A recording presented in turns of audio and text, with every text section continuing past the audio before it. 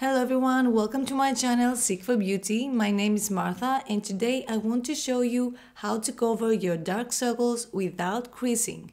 I'm super super excited about this tutorial because this is something that I was struggling for many many years. I have dark circles from the age that I can remember myself and lately I also have to deal with fine lines. I'm very insecure about my dark circles and my fine lines. I do anything I can to make them less visible. I finally found the technique that works best for me and I wanted to share this one with you because you might have the same issues and maybe you find this one helpful. I really hope you do. Before I get started, make sure you subscribe to my channel to see all my new videos that I upload every Wednesday and you can also follow me on Instagram to see my everyday posts about skincare, makeup and all the beauty hacks.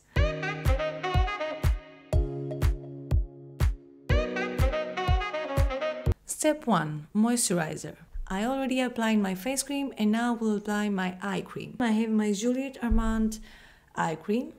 It's very important to keep your under eyes hydrated. Whether you have dry or oily skin, you must use your moisturizer. You want to leave a minute or two for the eye cream to dry and next you want to move to the second step. Step 2. You will need a setting spray. Take your setting spray. I use my Fix Plus. I have the coconut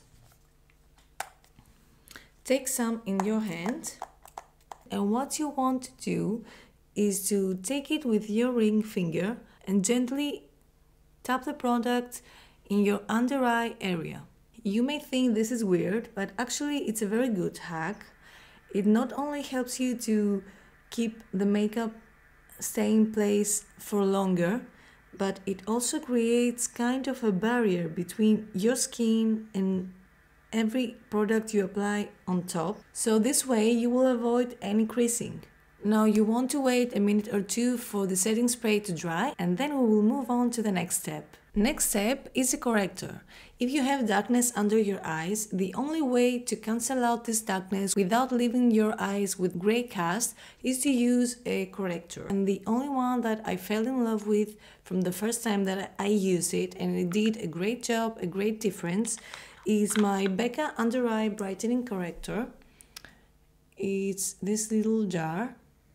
There are two shades of this corrector. I have the medium to deep.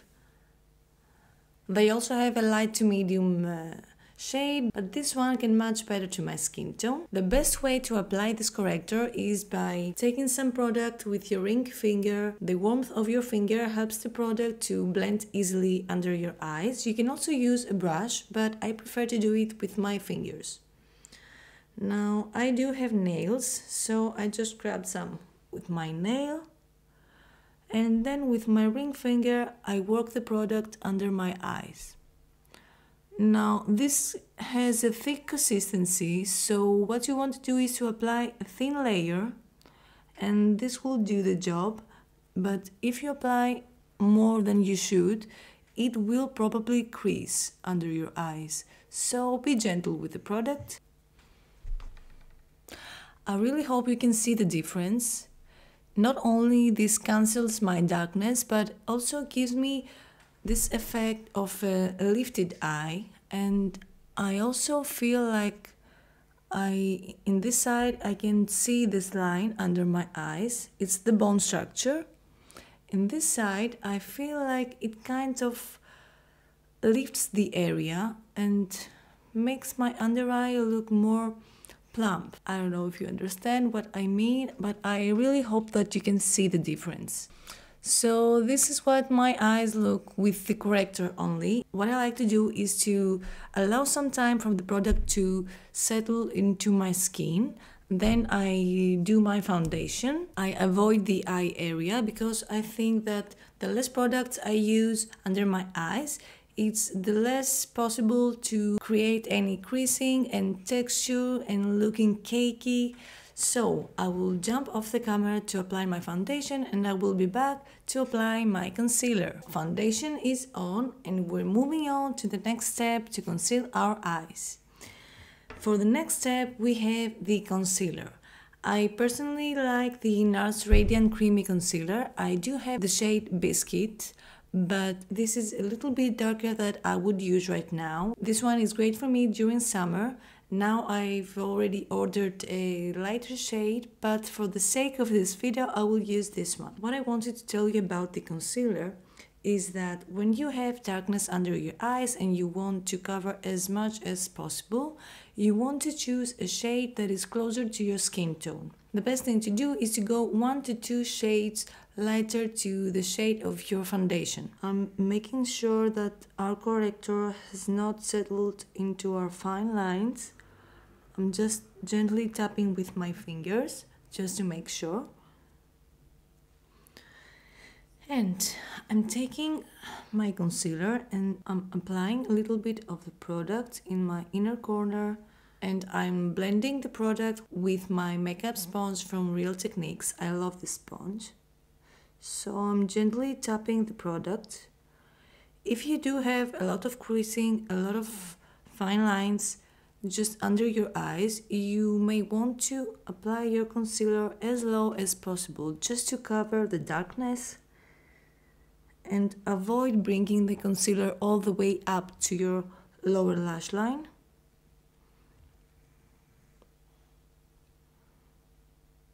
So again, in the other eye, I'm taking just a few dots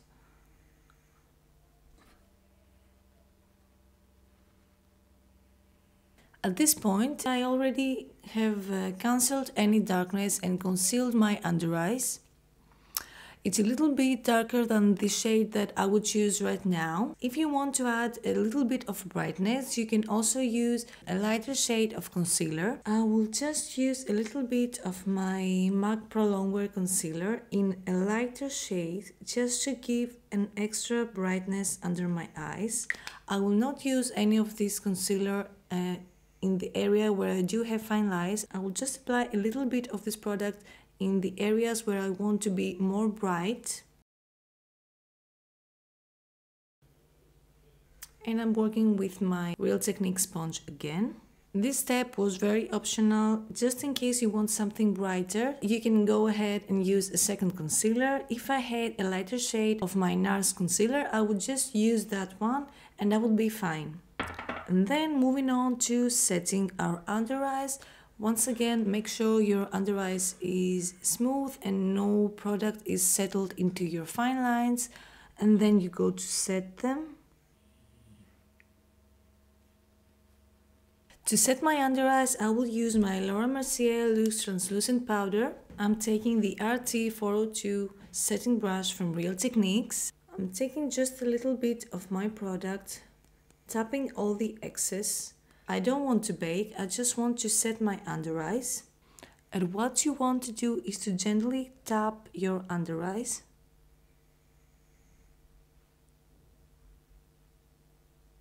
And this was the final step on how to cover your under eye circles without creasing. Now I will zoom you in to see how my under eyes look at this stage and then I will finish the rest of my makeup and I will be back to show you the final look. So I have zoomed in so you can see how my under eyes look. No dark circles, everything is concealed, no creasing. Of course, I do have fine lines, I'm 32, I grow up so I have to accept them. But so far, this is the best technique that I've tried, and it works wonders. And your eyes will stay like this pretty much during the whole day. I just finished the rest of my makeup and this is the final look. As you can see, there are no dark circles, no creasing, everything is perfect. I really hope you get to try this technique and let me know guys what you think if it worked for you. If you also have any friend who struggles with the dark circles, please share this video with them. I really hope you liked this video. If you did, please give it a thumbs up. This would mean so much to me. And don't forget subscribe to my channel if you haven't already to see my new videos that I upload every Wednesday. Thank you all so much for watching and see you in my next video.